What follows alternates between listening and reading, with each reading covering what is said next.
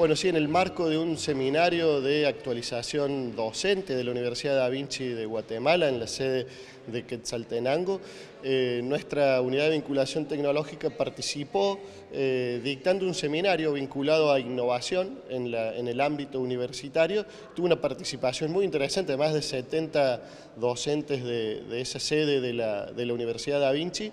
y realmente fue muy interesante eh, trabajando sobre herramientas que se pueden utilizar desde el aula para generar procesos de innovación, para incorporar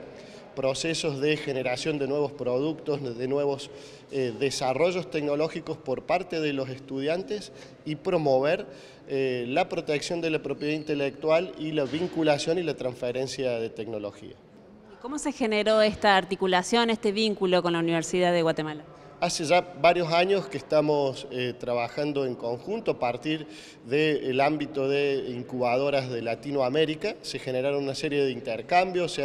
han, eh, presentado proyectos al Ministerio de Ciencia de Guatemala, se implementaron eh, hackathons también en, Guatemala, han venido estudiantes a conocer nuestra universidad y en ese marco de, antecedentes y trabajo conjunto, también con firmas de, convenios y de acuerdos, hicimos esa eh, actuación en el seminario de eh, Liderando la Innovación desde el Aula.